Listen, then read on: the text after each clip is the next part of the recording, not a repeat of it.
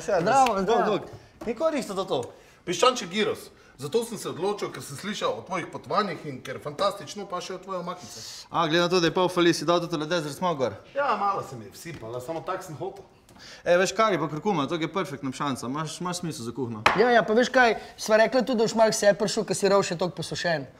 Poslušaj, kdo je poslušaj ti lega?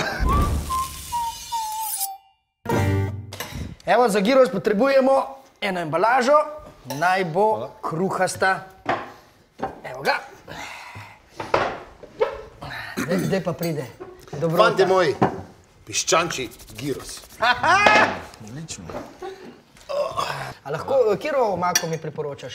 Ja, jaz bi tule začel kar pri desert smoke, ne. Desert Eh, smoke? Ja. To je rumena, ne? Ja, zato ker, zato, ker ste že tako dali v samo recepturo noter, um, pa odlično paše kari pa kurkuma gor, ne, zato tole je. Zato, ker eh, jaz, če ne peče, ne jem. Aha, Ja. tako je to. Ej, ti ješ, če peče? Ja. To moraš, resno? Resno, resno. Daj, ja, bi ti probal navadno papriko reje?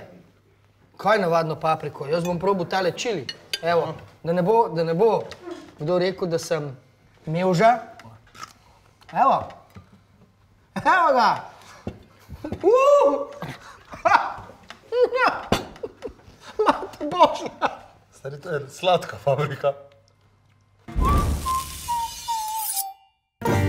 Mama, moja mama je imela pa malo drugačno idejo. Ne? Moja mama je pa mislila, veš, tisto tradicija, šola, faks, untretna, jaz sem bil pa čist kontra in pa, Ampak kaj, kaj, kaj si odnesel od tega, če mogo opisati eno stvar? veš kaj, uh, dobil sem res eno usnjeno kožo, bi rekel pa ene ful močne delovne navade. To je bila tovorna ladja, da se razumemo, to ni bila turistična ladja in to je bilo pač 200 metrov, uh, 200 metrov dolg kup rje, na katerem je bilo 25 dedov in drugi najstarejši je bil star tako 40 plus, jaz sem bil star 18. In z njimi sem pač preživel ta svoja najstniška leta, takrat na začetna. Ja. Fanta, kako se vam zdi hrana?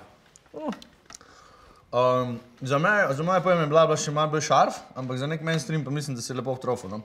Lepo se začuti kari, kurkuma, lepo se upada z, z piščancem, um, lepo, lepo je tudi tale barbecue flavor, mislim, da si super naravno. Meni je všeč. Meni je všeč.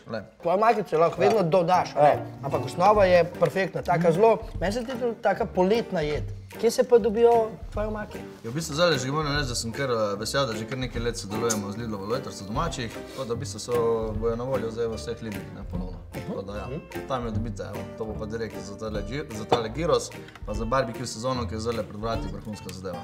Tako da, če hočete probati te omakice, seveda v Lidl, lojtrca domačih, pa jih probajte. Gledajte nas, lajkajte, pa šerajte. Vse veste, če šerate, ste boljši človek. Пафе с поливите. На здраве! На здраве! На здраве!